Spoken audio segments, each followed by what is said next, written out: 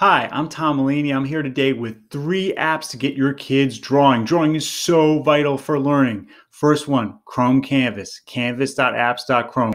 If your students use Chromebooks, they can either draw fresh new images or they can annotate on top of images with it. So cool. If you look here, you got a layers. You can set it to transparent. You have a pen, a chalk tool. How cool is that? Oh my goodness, so much great stuff. Color palette, all that good stuff. Second one, AutoDraw, autodraw.com. You don't even need a uh, username or login, but it, it's predictive drawing. So I draw and then it thinks like, is it a cloud? Is it a bog? So much good. GoFormative, goformative.com, also known as formative. If I do a new formative and then I click plus and I say, show your work right here, that gives them something to draw and I see the results automatically.